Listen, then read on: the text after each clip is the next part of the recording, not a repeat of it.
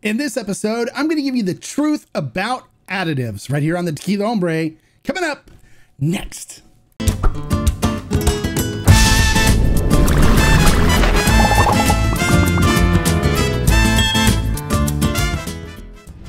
Hello and welcome to this episode of the Tequila Hombre, where today I'm going to give you the truth about additives. Now, additives have become the boogeyman in the tequila world, and is it rightfully justified?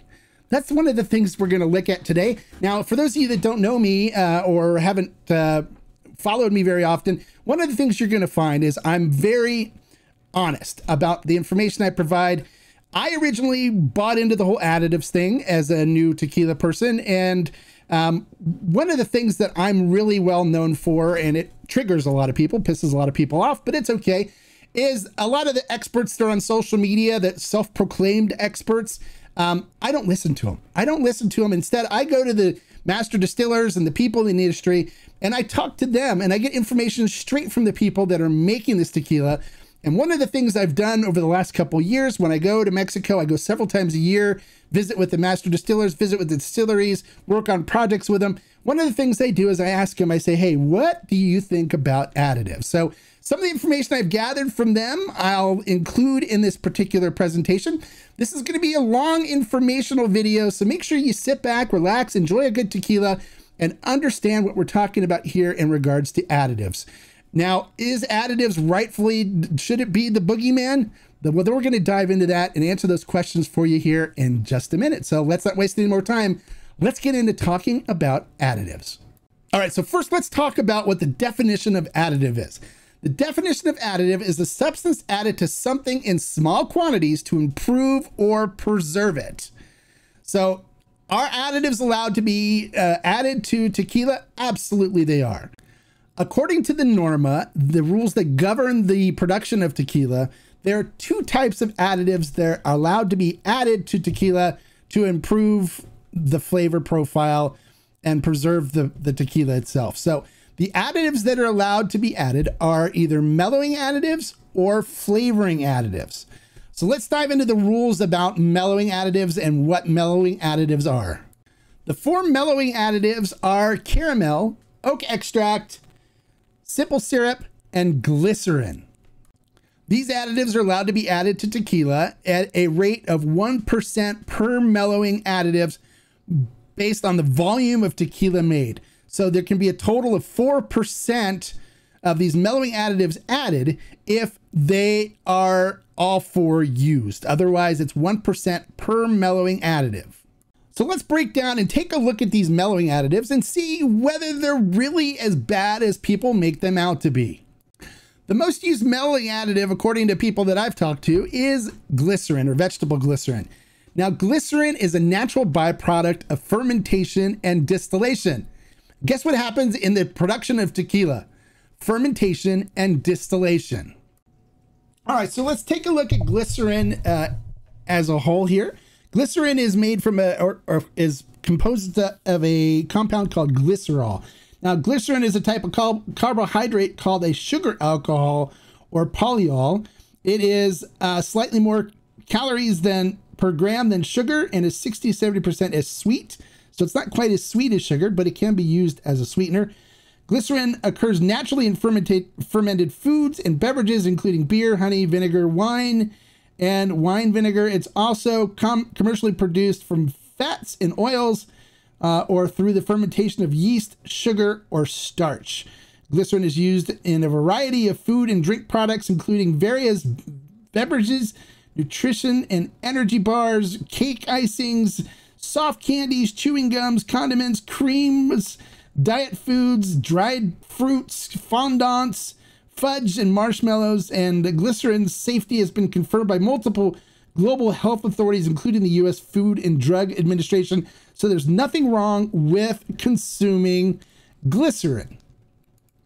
All right, so while glycerol and glycerin are uh, in during fermentation and go into the still for distillation, it has a much higher evaporation temperature than ethanol does. So typically, the glycerol or glycerin is left in the still during distillation. Sometimes, though, it has been found that glycerol or glycerin can attach itself inside the still, and and as ethanol is evaporated, uh, it is then dissolved into ethanol and can drip out of the still if they don't do a good job of cleaning stills. But typically, you don't find glycerin in the distillate when it comes out of the still. But it is a natural product, it won't hurt you. So, adding it doesn't really adversely affect you unless you have an allergy to sugar alcohol. But typically, glycerin is not a bad thing, um, but it is added to add smoothness and to add mouthfeel to a distilled spirit, and um, nothing wrong with that at all.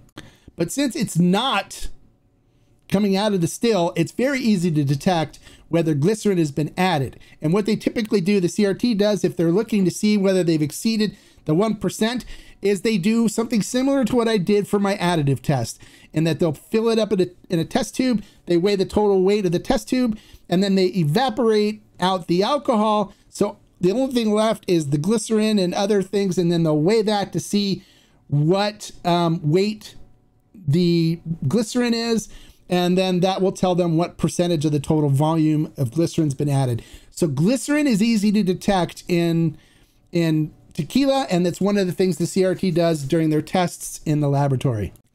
All right, so the other the other uh, calming or mellowing additives that are used are, are or that are allowed are caramel, which is just basically heated sugar. oak extract, which in the rules do determine that it has to be a, a natural oak extract, which, I mean, come on. And then uh, simple syrup, which is basically a mixture of, of water and sugar. And you don't typically find a simple syrup being used um, just because uh, you have to worry about the crystallization of sugar and it shows itself too easily. um, people have mentioned aspartame before. Aspartame, from my knowledge, has not been used in adding to tequila as a sweetener as it has a shelf life and expiration date and typically uh, can go bad. So people don't want to add a chemical into the tequila that if it sits on the shelf for a period of time, it will go bad. And if you haven't experienced that, if you've had Diet Coke that's been sitting out uh, in your garage for a little bit and you go to drink it and the aspartame's gone bad, it's a pretty foul taste. So I've yet to find any distilleries that use aspartame. There may be one out there or something that uses it, but it wouldn't be any distillery that I would ever recommend um, getting tequila from. Now, just so everybody knows, none of these additives are allowed to be used in Blancos. You can only use them in Jovens, Repos, Añejos, and Extra Añejos, aged spirits. Um, so you typically won't find them used in um, in Blancos. Now, we're going to get into this interesting part of this, and that is going to be the flavoring additive. So, but first, let's talk a little bit about aging tequila and wood. Now, I've seen a comment where uh, the CRT said that 90%, 90 plus percent of the tequila uh, that's made today has additives. A lot of people freaked out about that. But when you think about it, the fact that just by aging tequila in wood, you're actually adding additives. Wood aging, what's the purpose of wood aging tequila, right? You're you're improving the flavor profile and you're um, mellowing it out as well. So um, yeah, you're adding additives by simply putting it in a barrel and aging it. So let's take a look at barrel aging. Let's take a look at some of the compounds and what's involved, and then we'll tie that into the flavoring part here afterwards. Okay, so by putting tequila into wooden barrels, you can do different things to the tequila by selecting different type of barrels. Now, what you'll find is that by wood aging, not only can you improve the flavor, but you can also improve the mouthfeel based on the amount of tannins in the wood that are extracted during the aging process. Now, wood also can calm the tequila down uh, if the tequila is hot, and also add different flavorings to it uh, from the natural wood compounds that are involved. And it's actually the toast or char of the wood that actually determines the flavor profile that you can get from the selected barrels that you have. Or in, in some cases with tequila, the kind of alcohol that was aged in it previously, because a lot of alcohol brands will use previously used bourbon barrels, cognac barrels, rum barrels, uh, or other liquor or wine barrels as well to help flavor their tequila. Now, to illustrate what I'm talking about, you'll see on the screen a chart of different char levels and the flavor profiles you can expect from the barrels. This, these are brand new barrels, brand new wood. This is from a cooperage. So these are the different kind of flavor profiles you can expect based on the char level or the toast level of the wood that's being used in making the barrel. So if you look at some of the flavor profiles in here, there's leather and woody for a heavy char. There are medium char. There's earth, coconut, spice, nutty, vanilla. Uh, for a medium, there's vanilla, coffee, toffee, spice. Uh, for a light char, there's spicy cinnamon, clove, nutmeg. All of these are uh, flavor notes that, of course, we've detected in our aged spirits when doing reviews and when you're drinking reposados, añejos, uh, extra añejos, as well as jovens, which, which is a mixture of an aged spirit with a Blanco typically. All right, so one of the main compounds in wood that really adds the, to the flavor profile of tequila is one that's known as vanillin. Vanillin is an organic compound with the molecular formula of C8H8O3, which means it's eight carbons, eight hydrogens, and three oxygen molecules form together to create the molecular structure of vanillin.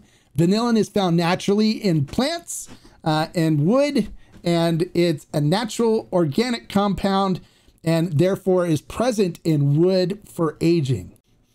All right, so plant-based vanillin occurs in many plants and is a natural protective protection system.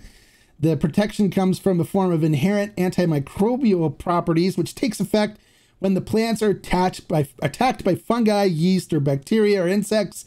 And many have tasted um, vanillin from wood, which, um, when drinking wine matured in oak barrels, vanilla from the oak in the barrels is extracted into the wine and gives it its round but distinct vanilla flavor.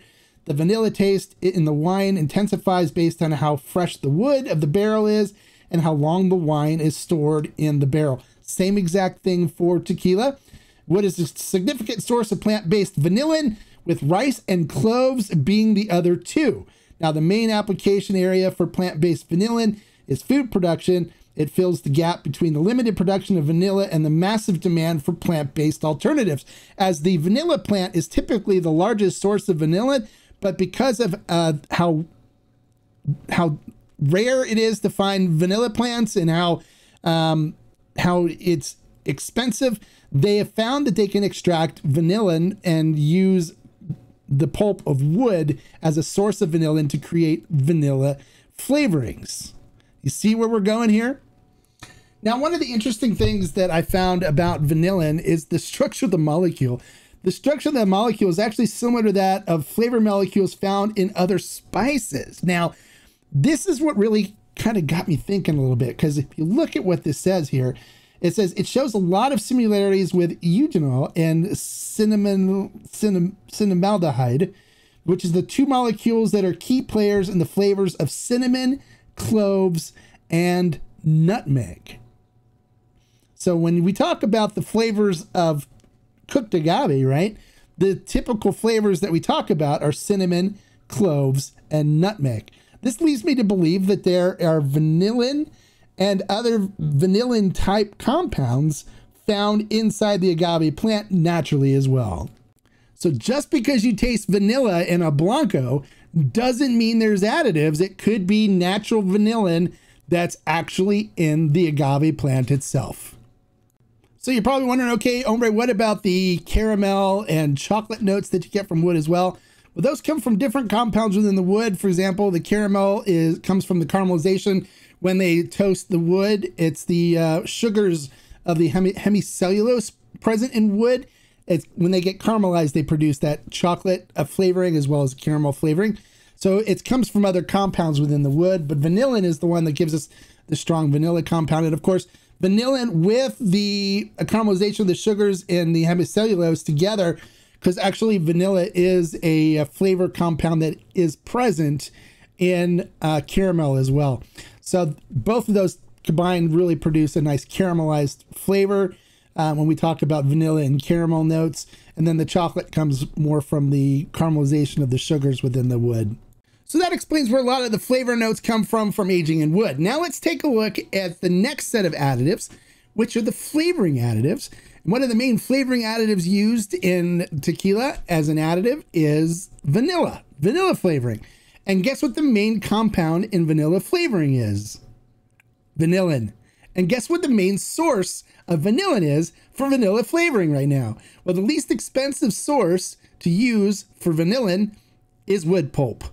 So yeah, they extract vanillin from wood pulp to create vanilla flavoring. Now, vanilla flavoring that's typically used in tequila is suspended in alcohol and, and ethanol and is consists of vanillin, which makes it untraceable for anybody looking for it in a lab because it's already in there from being in the wood because of course it has to be aged in order to add vanilla um, vanilla flavoring to it. So you cannot detect whether vanilla flavoring has been added to it because it's in there already and it comes from the wood. So you can't say that they added it. You can't know that they added it unless you were there when they uh, took it out of the barrels and bottled it and seen that they did not add any additives. So that's one of the issues with flavoring additives is they cannot be detected. So can anybody straight out say that something is 100% additive free? Absolutely not. What they do is they look for the the mellowing additives and see if they find mellowing additives and then say based on that that it's additive free, but you cannot 100% say that a tequila is 100% additive free because a lot of the com compounds that are found in the flavoring uh, additives are actually naturally in the tequila before. And this kind of adds a little bit to it as well. You can see here, this is the caramel flavoring note used uh, that um, uses vanillin as the um, compound in it, with, this, with it, it says with a top caramel note. Um, so here, vanillin is also being used, which of course would be in the tequila already from um, being aged in wood. One of the things that really motivated me in doing this video and um, really kind of putting this information out there is on my trips to Mexico, which I go a couple few times a year. Um, when I'm sitting with the master distillers, and most of the ones that I deal with, actually all the ones I deal with, really don't do uh, anything with additives. But I asked them, I said, so tell me, what are your feelings about additives in tequila? And and the majority of them turned around to me and they go, you know, hombre, in all honesty, um, it doesn't bother us. We don't mind it. We understand why it's why it's being used. We don't use it ourselves because we don't need to, but we don't see it as being a bad thing. Uh, it does help people uh, get uh, some tequilas. It helps some of the distilleries here make money and and keep their livelihood and feed their families because um, they you know the American palate itself likes sweet, uh, so it has a purpose. So uh, another concern people have addressed is that well wh why did they hide it if it's no big deal? Um, they don't hide it. A lot of times they just don't feel it's necessary to disclose it, and the reason being is because the stuff they're putting in there is already in there in most cases anyway. So what does it matter if they're adding a little more vanilla to their tequila or not? Um, the way you can tell basically is by flavor profile. If it's extra sweet and extra caramelly and, van and vanilla, um, and you don't like it, don't buy it. Chances are it's probably got additives in it. Is there any way to know for sure? No. But if it's got more vanilla than you like, or more caramel than you like, or it tastes like cupcakes, whatever, then don't buy it buy the stuff that doesn't, that you know is additive free. So don't let additives be a boogeyman to you. Don't let it frighten you. You want to know if a tequila has additives.